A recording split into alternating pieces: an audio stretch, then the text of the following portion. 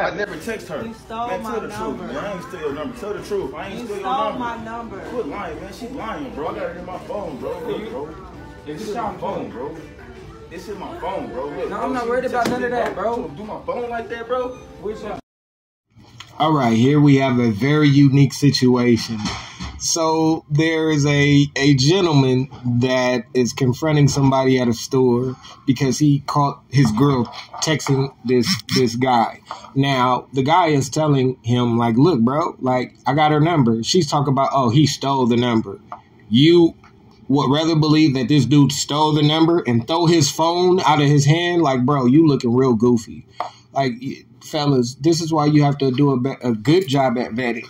And ladies, this is one of the reasons why guys don't enter relationships, or this is one of the reasons why guys cheat. So I have a page that talks about three reasons why 50 50 relationships don't work and three reasons why men cheat. Check it out.